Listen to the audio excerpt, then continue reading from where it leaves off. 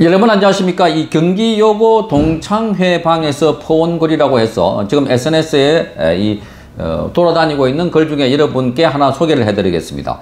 진정한 영웅들이다 이렇게 말합니다. 진정한 영웅들.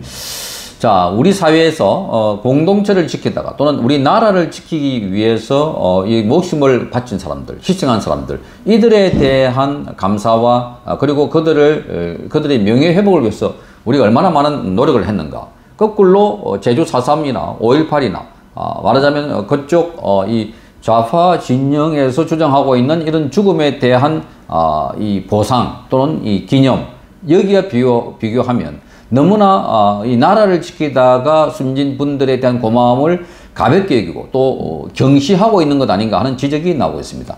여기에 대해서 어, 경기여고 동창회 방에서 어, 올린 어느 어, 글을 소개해 드리겠습니다. 경기여고 졸업을 한 어느 전업주부의 글이라고 합니다. 진정한 영웅들 이렇게 되어 있습니다. 요즘 역사 거꾸로 보기가 유행인 것 같습니다.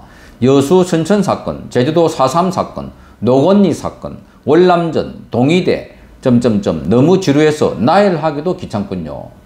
언젠가 냄비가 식으면 그 모든 게 다시 바뀔 수도 어, 바뀔 수 있을지도 모릅니다. 5.18을 포함해서 말이죠. 좋습니다. 사건의 양면성을 볼 수 있는 열린 마음을 가질 필요가 분명히 있습니다. 그런데 지금 우리가 그런 열린 마음, 성숙한 마음으로 우리 과거를 조명하는 건가요?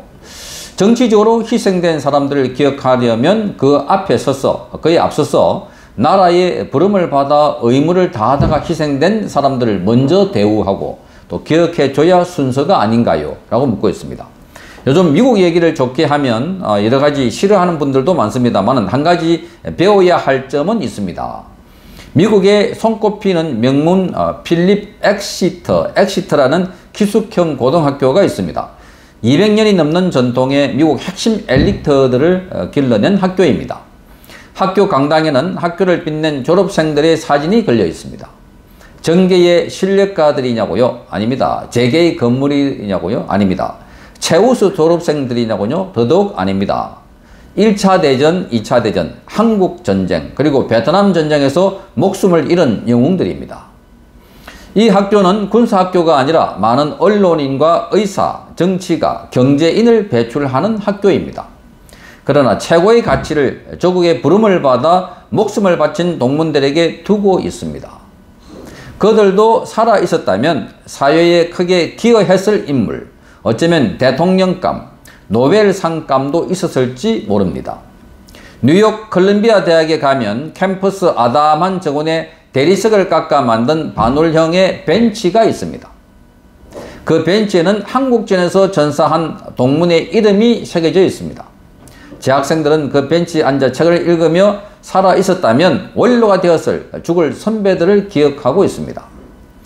그 외에 모든 전통이 있는 미국 대학에는 조국을 위해서 목숨을 버린 동문 전사자들의 기념물이 있습니다.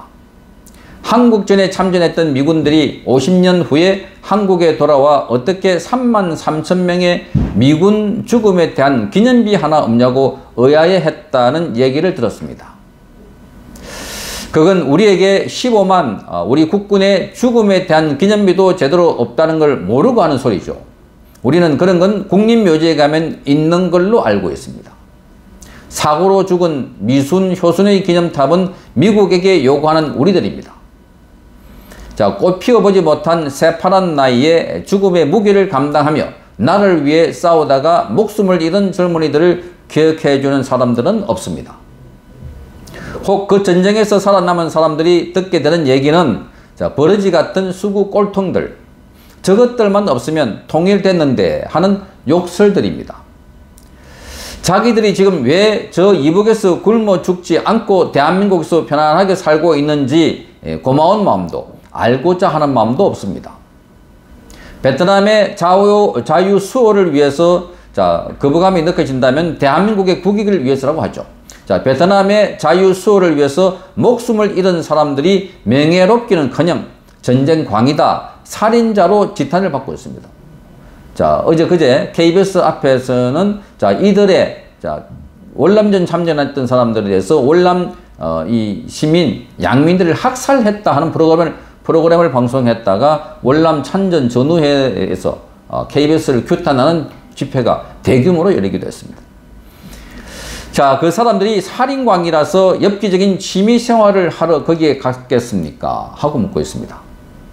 서해 바다에서 나라를 지키다가 쓰러져간 다섯 사람의 이름을 기억하고 있는 사람은 있습니까? 저도 기억하지 못합니다. 그만큼 우리 언론이나 사회는 그들의 죽음에 무심해 있습니다. 대통령은 그날 오후 월드컵을 관전하러 일본으로 떠났고 그 전이나 그 후에 빈소에 들르는 수고조차 하지 않았습니다. 장례식에도 관리 없다는 이유로 요인들은 참석하지 않았습니다. 하다못해 자기 집 개가 도둑을 막다가 주인 대신해서 목숨을 잃었어도 그렇게는 안 했을 것입니다. 이 나라에서 나라를 위해 목숨을 바치는 일은 개죽음입니다. 손가락이 다 떨어져 나갈 때까지 총신을 잡고 온몸이 벌집이 돼도 교통사고로 죽은 소녀들의 죽음보다 가벼운 게 대한민국 군인의 죽음입니다. 나라를 위해 싸우다 죽은 군인들은 5천만 원 보상을 받고 그들을 위해 촛불 하나 밝혀주는 이가 없고 자 이북의 김정일에게 사과 비슷한 말 한마디 못 들었는데 점점점 이렇게 나오고 있습니다. 길 걸어가다가 교통사고 당한 소녀들은 미국 대통령이 두 번씩 사과하고 1억 9천만 원씩 합의 보상금을 받았고 기념탑까지 세워주는데 아직도 분이 안 풀려 촛불 시위하는 나라가 정상입니까? 저는 아들도 없지만 아들이 있어도 솔직히 그런 개죽음 시킬 수 있을까 의문이 듭니다. 결국 죽은 사람만 바보 되는 나라입니다. 어떻게든 살아남아 나중에 애국자인 척 평화주의자 평화주의자인 척 자기 자신과 남을 속이게 속이는 게 상책입니다. 우리 사회에 여러 가지 부조리가 많았던 것도 사실이고 기성세대가 많은 잘못을 저지른 것 또한 사실입니다. 하지만 나는 그들이 살아왔던 환경을 기억해 주어야 한다고 생각합니다. 그들은 정말 세계 어느 나라, 어느 시대에도 없었던 격심한 변화와 폭풍호 속에 살아남아 아무것도 없이 헐벗었던 나라를 이만큼 살게 만들어 놓은 세대입니다. 지금 젊은이들이 그들의 삶을 정지할 수가 있습니까? 앞으로 더 나은 나라를 만들겠다는 각오는 좋습니다. 그러나 그들을 정죄하지는 말아 주십시오. 나는 그들이야말로 진정한 승리자, 진정한 영웅들이라고 생각합니다. 이상은 경기여고 동창회 경운회에서 본 글입니다. 자, 이런 어, 평범해 보이는 그러나 아주 당연한 글도 어, 여러 사람들이 공유를 하고 있는 것이 지금 우리 사회에서 너무나 상식과 먼 어, 이런 모습들이 많이 목격되고 있다는 겁니다. 우리 공동체를 지키고 우리나라를 지키고 누구 때문에 누구를 위하여 종을 울리나 하듯이 누구 때문에 그들은 목숨을 바쳤을까요? 놀러 가다 여행 가다가 아니었습니다. 오로지 나라를 지키기 위해서. 그래서 거기에 희생된 사람들도 그렇게 큰 걸 요구하고 있지 않습니다. 자, 나라를 지키다 어, 돌아가셨던 많은 선열들, 그 유족들이 국가를 상대로 해서 뭐 이거 내놔라 저거 내놔라 시위하고 들어눕고 하지는 않습니다. 천안함 55명의 어, 용사도 마찬가지입니다. 국가에게 이거 해놔라 저거 해놔라 하지는 않습니다. 그럼에도 우리는 너무나 그들에게 무심했고 어, 그들에게 대해서 어, 신경을 쓰지 않고 있었다 하는 겁니다. 그러다 보니까 이들은 마치 우리 공동체에서 우리 사회에서 아주 하잘것없는 일을 하다가 어, 쓸데없는 죽음 여기서 말하는 것처럼 개죽음을 당한 것처럼 이렇게 비칠지도 모릅니다. 그러나 그들이 진정 우리의 영웅들이란 겁니다. 오늘 우리가 이렇게 살고 있고 숨쉬고 있고 활동할 수 있도록 그들이 희생을 해줬기 때문에 가능하다는 겁니다.